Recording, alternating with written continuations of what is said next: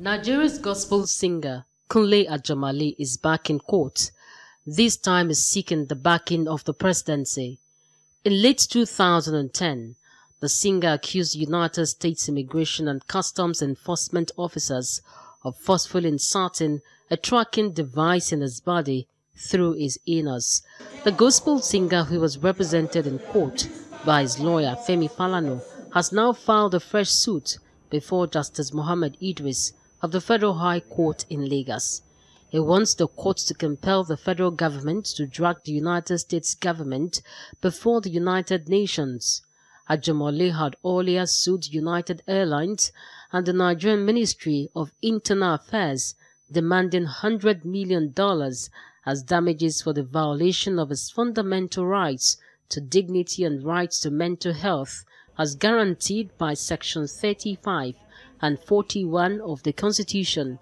The suit, which was before Justice Rita Ofili-Ajumogobia, has now been withdrawn and a fresh one has been filed before Justice Muhammad Idris.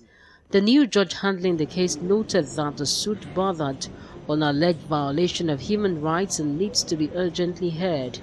He therefore ordered that the defendants be served with the processes in the suit and fixed Friday, August the 7th, for hearing.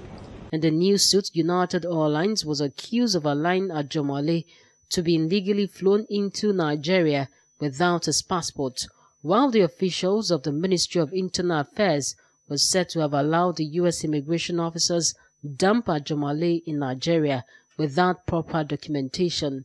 The complainant averred in his affidavit that he has been living in the United States since 1997 with a visiting visa and became a permanent resident in February 2008 and never had any criminal record all through the period.